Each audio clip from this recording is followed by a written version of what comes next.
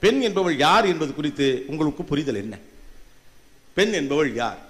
தெய்வம் மலர் போன்றவள் பூ போன்றவள் மேகம் போன்றவள் காற்று போன்றவள் கடிதாசி போன்றவள். எப்ப பெண்ணை கவிதை வழியாக உங்களுக்கு சொல்ல சொல்ல சொல்ல அதை நீங்க ரசிக்க ஆரம்பிக்கிறீங்களோ பெண் ரொம்ப இலகி கொண்டே போகிறாள். பெண்ணை பூ என்று சொல்லுவதன் வழியாக இருக்கக்கூடிய உள்ளீடான அரசியலை நீங்கள் உணர்ந்து கொள்ள வேண்டும்.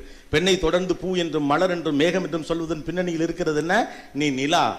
குளிர் போன்றவள். சூரியன் உங்களை சொல்றதே கிடையாது. ஏன்னா சுற்றக்கூடாது நீங்கள் அப்போ பெண்ணை தொடர்ச்சியாக அந்த அந்த மனநிலையை வைத்திருப்பதற்கு என்ன காரணம்? நீ அழகை பற்றியே சிந்தித்துக் கொண்டிரு. நீ திருமணத்திற்கான ஒரு பொருள் என்று நீ நம்பிக்கொண்டே இரு. பிள்ளை பெறுவது மட்டும்தான் உன்னுடைய பேர் என்று நீ நம்பிக்கொண்டே இரு. நீ ஒரு இண்டிபெண்ட் இல்லை அப்படிங்கிற மனநிலை உங்களுக்கு தொடர்ந்து உள்ள வச்சுக்கிட்டே இருக்கான். உங்களை தெய்வம்னு சொல்லிட்டா நீங்க சத்தம் போட முடியாதுல? மலர்னு சொல்லிட்டா ச- அநீதிக்கு எதிராக குரல் கொடுக்க முடியாதுல? உரிமையை கேட்டு பெற முடியாதுல? பொம்பளை பிள்ளை இப்படி பண்றேன்னு சொல்லிட்டு போயிட்டே இருக்கலாம்ல? ஆனா நீங்க எதுக்குள்ள மயங்கி கிடக்குறீங்க? அழகியல் சார்ந்த விஷயங்களை பற்றி எவராது உங்களை தொடர்ந்து ஆராதித்துக் கொண்டே இருந்தால் அவரிடமிருந்து வெளியே வாருங்கள்.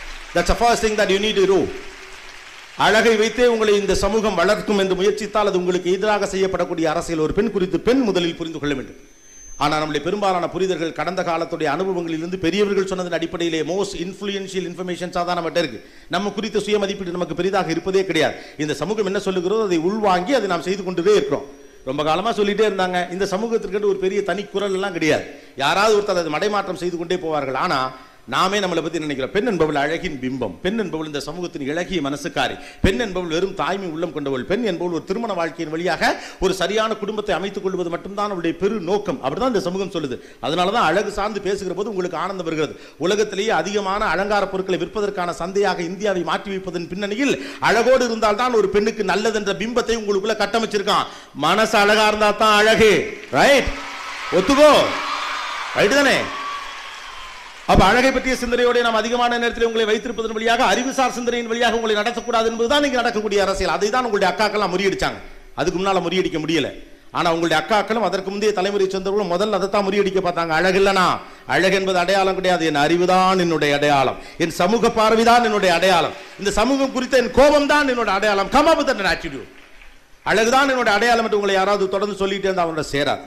தட்ஸ் ராங் அவர்கள் உங்களை அடிமைப்படுத்த முயற்சிக்கிறார்கள். ஒட்டுமொத்த உலகமும் பெண்களுக்கு எதிராக வைக்கக்கூடிய மிகப்பெரிய அரசியலே அழகின் வழியாக உங்களை வழிநடத்த பார்ப்பதுதான்.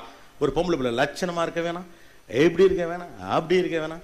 பார்க்க ரொம்ப பாந்தமா இருக்கு. என்ன பாந்தமா இருக்குது? எனக்கு புரியலையே ரௌத்திரம் பழகு. அவ்வளவுதான். அநீதினா ஆம்பளை தான் கேட்கணும் இல்லை. பொம்பளையும் கேளு. அப்பதான் அதான் அடையாளம். அப்ப எப்போ? ஒரு பெண் என்பவள் அழகு சம்பந்தப்பட்டவள். அமைதியோடு தொடர்புடையவள் என்று இந்த சமூகம் தொடர்ந்து உங்களை உள்ள நகர்த்துதோ அப்பெல்லாம் நீங்க ஒருபடி மேலே வந்துகிட்டே இருக்கும் அந்த இன்ஃப்ளூயன்ஷியல் இன்ஃபர்மேஷன் உங்ககிட்ட வந்துட்டு இருக்கிறதுனால யாராவது ஒருத்தர் வந்து அழகுன்னு சொன்னா ஓ அவன் தான் எனக்கு மிகச்சிறந்த கணவன் தோண ஆரம்பிச்சது. சில நேரம். சில பேருக்கு. எல்லாரையும் நான் சொல்ல அப்போ வாழ்க்கையில் வாட் இஸ் மை ப்ரையாரிட்டி நாங்கள் தீர்வு செய்ய வேண்டிய மிக முக்கியமான காலகட்டத்தில் இருக்கிறப்ப நமக்கு பெரிய டிஸ்ட்ராக்ஷன் வரதுக்கான காரணம் என்ன? நான் யார் என்பது குறித்த புரிதல் உங்களுக்கு கிடையாது. அமெரிக்காவுக்கு விசாக்கு போய் நிற்கிறப்ப கூட ஒரு பெண் பிள்ளைய இண்டிபெண்டன்ட் விசான்னு கொடுக்குறானா? டிபெண்டன்ட் விசான்னு கொடுக்குறான். இல்லையா? ஆணுக்கு ஒரு பிஸ்னஸ் விசா கொடுக்குறான். அல்லது ஒரு ஒர்க் விசா கொடுக்குறான்னா நீங்க மனைவியாக கூட போனீங்க அப்படியே பின்னால் நின்னுக்கிட்டு மஞ்சள் கலரில் ஒரு தாலி கட்டிட்டு இந்த இடத்துல ஒரு பொட்டு வச்சுட்டு போய் நின்னீங்கன்னா உங்களுக்கு டிபெண்ட் விசா ஏன்னா பெண் என்பவள் சார்ந்து உள்ளவள் என்று நீங்கள் நம்ப வைக்கப்பட்டிருக்கிற அந்த சார்பு நிலை உங்க அம்மா கிட்ட இருக்கு. உங்க அம்மா தான் சார்ந்து வாழ்ந்த ஒரு சமூகத்தின் பிரதிநிதியாக இருக்கிறதுனால என் பிள்ளையால தனித்து செயல்பட முடியாதுன்னு அவங்க நினைக்கிறாங்க. அவங்க பயப்படுறாங்க. அதுல எந்த தப்பும் கிடையாது. ஆனா அவர்களுக்கு புரிய வைக்க வேண்டிய இடத்துல இருக்கக்கூடிய நீங்கள் கோபப்படுகிறீர்கள். புரிய வைக்கணும். நீங்க தான் புரிய வச்சாகணும். பிகாஸ் இந்த டிரான்சிஷன் பீரியட்ல இருக்கக்கூடிய தலைமுறை நீங்க தான். ஒவ்வொரு தலைமுறைக்கும் ஒவ்வொரு பொறுப்பு இருக்கிறது. இந்த தலைமுறைக்கு பெரியவர்களுக்கு புரிய வைக்க வேண்டிய பொறுப்பு இருக்கிறது. மாறாக நீ முட்டா பைய உனக்கு ஒண்ணும் தெரியல. நீ என்ன என்னுடைய மாற்றங்களை புரிஞ்சுக்க மாட்டேங்கன்னு அம்மா கிட்ட சண்டைக்கு போறதை விட கவலைப்படாத நான் என்ன பார்த்துக்கிற ஆளு. அப்படின்னு நம்ப வை. அவ்வளவுதான். தட்ஸ் இட் தான் என்ன தான் என்ன நான் என்ன பார்த்துக்கிற ஒரு ஆளு ஆண் நம்ப வச்சான்ல. ரைட்டு தானே? ஆனா ஆண் பாவம் பலவீனமானவன். உண்மையிலேயே சொல்ல போனா அப்பாக்கள் பலவீனமானவர். என்ன அவங்களுக்கு சபையில் அழுதிட மாட்டாங்க அப்பாக்கள் அவங்களுக்கு தெரியாது அவ்வளவுதான். அப்பாக்களுக்கு அந்த மனசு தான் இருக்கும். ஆனா இந்த சமூகம் என்ன சொன்னுச்சு? ஆண் அழாதன்னுச்சு. அதனால நம்ம ஹீரோக்கள் கூட பாத்ரூம்ல போய் அழற மாதிரி தான் சீன் வைப்பாங்க. எம்ஜிஆர்லாம் திரும்பி நின்னுட்டு தான் அழுவார். ஏன்? ஆம்பளை அழக்கூடாது. படம் பார்க்கல ஒரு சீனில் ரஜினி அழுதா அப்படியே கதறிடுறமே ஏன்? ஏன்னா ஆம்பளை அழுது பார்த்தது வீட்டில் அம்மா அழுதா தர்மா சும்மா இந்த இந்த சீனை எங்கிட்ட போடாதுங்க ஆனால் அப்பா லேசாக கண் கலங்கிட்டா பொசுக்குன்னு மனசு உடஞ்சி போகுது ஏன்? ஆண் அழக்கூடாதுன்னு சொல்றான். ஆண் அழக்கூடாதா? ஆணும் அழுவதற்குரியவன் தான் ஆனால் இங்கே எல்லாருக்குமான ஒரு கட்டுப்பாடு இருக்குது ஒரு பெண் என்பவள் இப்படித்தான் இருக்க வேண்டும் என்று அவர்கள் நம்பிக்கொண்டிருக்கிறார்கள். அந்த நம்பிக்கையை உங்கள் செயல்பாடுகளின் மூலமாகத்தான் நீங்கள் மாற்ற முடியுமே ஒழிய வார்த்தைகளின் மூலமாக மாற்ற முடியாது. அதற்கு இந்த சமூகம் பொறுப்பேற்றுக்கும் நீங்கள் கவலைப்படாது அப்ப எங்க சிக்கல் இருக்கு? நான் யார் என்பது குறித்த புரிதலில் சிக்கல் இருக்குது. நான் டிபெண்டா இண்டிபெண்டா முதல்ல அந்த கேள்விக்கு நீங்க வாங்க. அப்பதான் ஃப்ரீடம் கொடுக்கறதா எடுத்துக்கிறதாங்கிறது உங்களுக்கு தெரியும். கொடுக்கப்படக்கூடிய ஃப்ரீடத்தை நாமெல்லாம் மிஸ்யூஸ் பண்றவான்னு கேட்குறீங்களே ஃப்ரீடம்ங்கிறது கொடுக்கறதுல எடுத்துக்கிறது. ஃப்ரீடம் யார் நம்ம கொடுக்குறோமே அடிமையா அடுத்த ஃப்ரீடம் கொடுக்க? எனக்கு என்னுடைய அளவுகோல் தெரிந்தால் எது சரி என்றும் எது தவறு என்றும் எனக்கு புரிந்தால் என் சுதந்திரத்தை நான் எடுத்துக்கொள்வேன். அடுத்தவங்க கொடுக்குற வரைக்கும் நான் காத்துக்கிட்டு இருக்க மாட்டேன். எனக்கு என்று நான் ஒரு சிஸ்டத்தை வச்சிருக்கேன். இது விதிமீறல் இது சரி. இது சரி இது நெறிக்கு புறம்பானது இது அநீதி இது தவறு இது நியாயம் இது தப்புங்கிற புரிதல் எனக்கு இருந்தா நான் யார் என்பது குறித்த புரிதல் இருந்தால் அந்த சமூகம் நமக்கு அறிவுரை சொல்ல வேண்டிய எந்த அவசியம் இல்ல. ஃப்ரீடத்தை எவரும் நமக்கு கொடுக்கணுங்கிற அவசியம் இல்ல. எவன் நாளை கையை கட்ட வேண்டிய அவசியம் இல்ல. நான் தலைவன் என்றால் நான் செய்யறதா விதி. நீ தலைவி ஆயிட்டு போ. அவ்வளவுதானே. இதுக்கு எதுக்கு புலம்புவானே? காரணம் இந்த சமூகம் இப்படி சொல்லி வச்சிருக்கு. நீங்க அதை நம்புறீங்க. பெண் என்பவள் அழகானவள். இந்த சோப்பு போட்டு குளிச்சா மறுநாள் காலையில நீங்க சிறப்பாயிருவீங்க தினந்தோறும் அந்த கிரீமை பத்து நாள் நீங்கள் பயன்படுத்தினா சக்கச்சவேன்னு மாறி கருப்பாக இருந்தால் என்ன? இல்லை? கருப்பாக இருந்தால் என்ன? ஆம்பளை பசங்க கூட ஒத்துக்கிறானுங்க. ஏன் பொம்பளை பசங்க ஒத்துக்க மாட்டேங்கிறீங்க? நிறைய நேரம். ஒத்துக்க மாட்டேங்கிறீங்களே முதல்ல அதோட கருப்பு தான் என் நிறம் என்று நம்பு. பிரவுன் இஸ் பியூட்டின்னு ஒத்துக்கும். தட்ஸ் மோர் இம்பார்ட்டன்ட் நீங்க உங்களை தொடர்ச்சியாக அழகு ரீதியாகவே இந்த சமூகம் உங்களை அடக்கும்னா நீங்க அழகுக்கு எதிராக நில்லுங்க. உங்கள் மனதினுடைய அறிவு ரீதியாக உங்களை எடைபோட சொல்லுங்க. அதனால ஆன படிப்பு வச்சும் பெண் அழக வச்சு எடை போடுறது? அப்படி எடை போடுற சமூகத்தை நான் எதிர்ப்பேன்னு சொல்லுங்க. இந்த சமூகம் உங்களுக்கு பயப்படும். அந்த சமூகத்துக்கு நான் மாட்டிக்க வேணாம். நீ மாட்டிப்ப அவ்வளவுதான். அப்ப அழகுதான் என் அடையாளம் என்று நீங்கள் நம்புகிற போது ஒரு வாழ்க்கையை அமைத்துக் கொள்வதுதான். எனக்கு பிடிச்ச ஒரு ஆணையை அடைவதுதான். அல்லது ஒரு குடும்பத்தை அடைவதுதான் என்னுடைய இலக்கு நினைக்கிறீங்க? கிடையாது. நாசாக்கு நீங்க வேலைக்கு போக கூடாதுன்னு எவன் சொன்னா இந்த தேசத்திற்கான மறுமலர்ச்சியை உருவாக்குவதான் என்னுடைய இலக்கு என்று நீங்கள் தீர்மானித்து விட்ட பிறகு அழகன்ன துக்குடா. தூக்கி போட்டு போயிட்டே இருக்க வேண்டியதானே அப்ப நான் யார் என்று நீங்க நான் தீர்மானிக்கணும். You are independent or dependent இந்த உலகம் உங்களை தொடர்ந்து என்ன சொல்லிட்டே இருக்கு? டிபெண்டன்ட் பெண் என்பவள் சார்ந்து வாழுகிறவள் தந்தையை சார்ந்து வாழுகிறவள் தாயை சார்ந்து வாழுகிறவள் அண்ணனை சார்ந்து வாழுகிறவள் தாய் மாமனை சார்ந்து அதனால தான் நம்ம சிஸ்டத்தை அப்படி வச்சிருக்கோம். ஆனா உண்மையிலே பெண்ணா சார்ந்து வாழுகிறவள்? ஆண் தான் சார்ந்து வாழ்றவன். ஆனா காலங்காலமா ஆண் என்பவன் தனித்து நிற்கிறவன் பெண் என்பவள் சார்ந்து வாழுகிறவள்னு சொல்றான். இங்க இருக்கக்கூடிய பல பேருக்கு ஆண் நண்பர்கள் இருக்கலாம் அண்ணன் தம்பிங்க இருக்கலாம் தோழன்கள் இருக்கலாம் காதலன்களும் இருக்கலாம். நீங்களே யோசிச்சுக்கோங்க உங்கள் வீட்டை வச்சு. ஒரு பொம்பளை பிள்ளை ரெண்டு வயசுல பேசிடும். ஆம்பளை பிள்ளை பேச மூணு வயசு ஆகும் மூணு வயசுக்குள்ள ஒரு பொம்பளை பிள்ளை தனக்கான சின்ன சின்ன வேலைகளை தானே பார்த்துக்கும். ஆனால் உங்கள் அண்ணங்கார ஆறு வயசில் பாத்ரூம் போயிட்டு வந்து வெளியில் நின்று கழுவி விடுமாம்மா. ஆனால் நான் டிகிரேட் பண்றதுக்காக சொல்ல ஆணுடைய டிசைன் அப்படி ஆணை ஒரு நாளும் நான் குறைச்சி சொல்லவே மாட்டேன். ஆண் உலகமும் பெண் உலகம் ஒன்று கொண்டு எதிராக நிற்பதே உலகத்தின் ஆகப்பெரிய அரசியல் அது செய்யவே கூடாது. ஆண் உங்களுக்கு தான் இங்கே இருக்கா? பெண் எப்படி ஆணுக்காக இருக்கிறாளோ அதே போல் ஆண் பெண்ணுக்காக இருக்கிற ஆணும் பெண்ணும் எதிரி இல்லை. முதல்ல அதுலேருந்து நீங்கள் நீங்க வெளியில வரும் இது ரெண்டு வேற வேற டிசைன் அவ்வளோ மட்டும் தான் ஆண் ஒரு சக்தி பெண் ஒரு சக்தி. கம்பேர்லாம் பண்ணாதீங்க. சில விஷயம் ஆனால முடியாது சில விஷயம் பெண்ணால முடியாது. சில விஷயம் ஆணால முடியும் சில விஷயம் பெண்ணால முடியும்.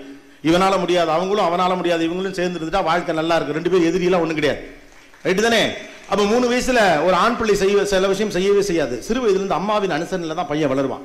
ஆண் பிள்ளைகளை தான் அம்மாக்களுக்கு ரொம்ப பிடிக்கும். எதிர்காலத்தில் இந்த பெண் பிள்ளைகள் நம்மளை காப்பாற்றுமா இல்லையான்னு அம்மாக்களுக்கு சந்தேகம் இன்னும் இருக்குது இந்த சந்தேகம் இருக்கிறவங்க எப்படி ஆண் பிள்ளை தான் பிடிச்சி வச்சுக்கிட்டு இருப்பாங்க? அந்த நம்பிக்கையை மாற்ற வேண்டிய பொறுப்பு தான் உங்கள் கையில் இருக்குன்னு நான் சொல்ல வரேன். இதுக்கு ஆம்பளைங்களாம் கூட வர மாட்டீங்களா? வருவோம். ஒரு வீட்டில் ஒரு அண்ணங்கார நிப்பா. சும்மா விடுமா நான் பார்த்துக்கிறேன்னு கொண்டாந்து விட்டுட்டு போல உங்களுக்கு ஸ்போர்ட்ஸ் மீட்டில் இல்லைன்னு சொல்லுங்கள் மனசார.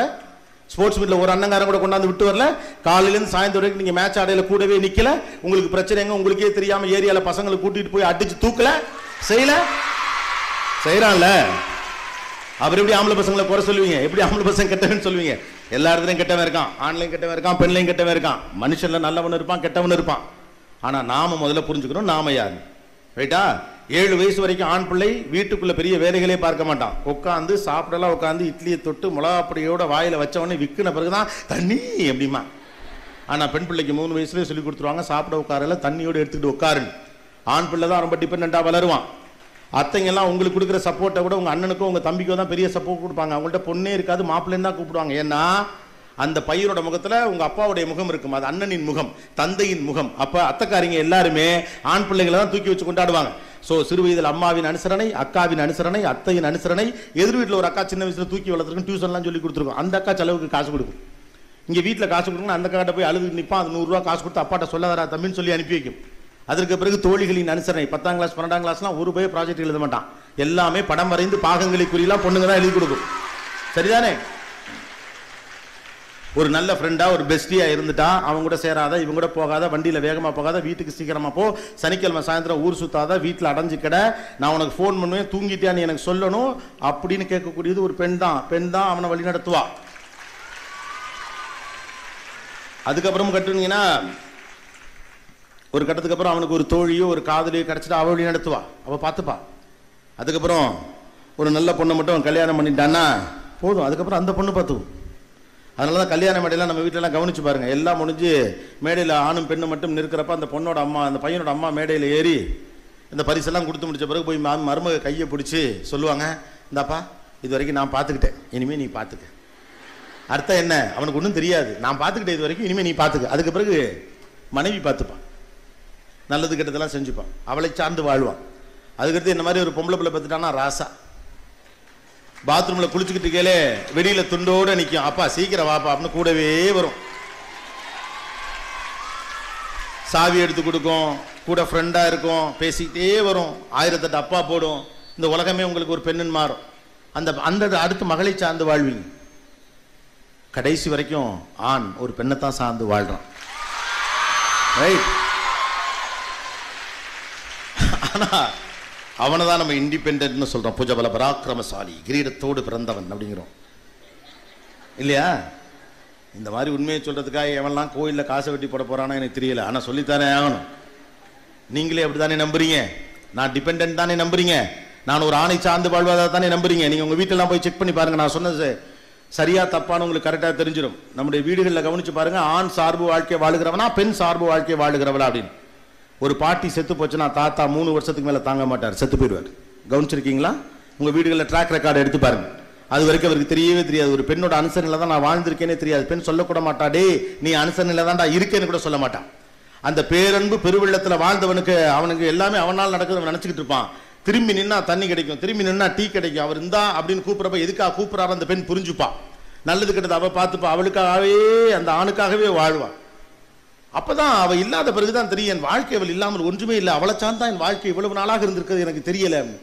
ரொம்ப நொந்து போயிடுவான் அப்பதான் ஏக்கம் வரும். கில்ட்டி கான்சியஸ் இருக்கும். சாரி கேட்கணும்னு தோணும். ஆனா அந்த பொண்டாட்டி உசுரோடு இருக்காது. பாட்டி செத்து போயிருக்கும். வைரமுத்து சொன்ன மாதிரி என்னைக்கு என் பொண்டாட்டி என்ன விட்டு போனாலும் அன்னைக்கே எம்படுக்க தென்னைக்கு வந்துருச்சு அப்படிமா தென்னைக்கு வந்துருவான் ஆம்பளை. எதுவுமே பிடிக்காது. நீங்க வேணா உங்க வீட்டில் செத்து போன தாத்தாக்கெல்லாம் கணக்கெடுத்து பாருங்க. வீட்டில் போய் அம்மாட்ட அப்பாட்ட கேளுங்க. மூணே வருஷம் தாத்தா செத்துருவார். ஆனா கல்யாண வயசில் ஒரு பொண்ணு நிக்கல பையன் காலேஜில் படிச்சுக்கிட்டு கேள் ஐம்பத்தஞ்சு அறுபது வயசில் அந்த வீட்டோட அப்பா தாத்தா இறந்து போவார். ஒத்த பொம்பளையான்னு உலகமே பார்க்காத அந்த பாட்டி. இட்லி கடை போட்டு இருக்க சொத்துல பாதியை வித்து விவசாயத்துக்கு இறங்கி வேலை பார்க்குறவன் யார் என்னன்னு தெரியாதப்ப ஆம்பளை மாதிரி பேங்க்குக்கு போய் வரிசையில் நின்று லோன் போட்டு பிள்ளைக்கு கல்யாணம் பண்ணி பையனை கரை சேர்த்து பேரம்பத்தி கையில் எடுத்து தான் சாவா அதான் பொம்பளை. ரைட் சாகாது அந்த பாட்டி. பொம்பளைக்கு உசுர கையில பிடிச்சு வைக்கிற தெம்பு இருக்கு.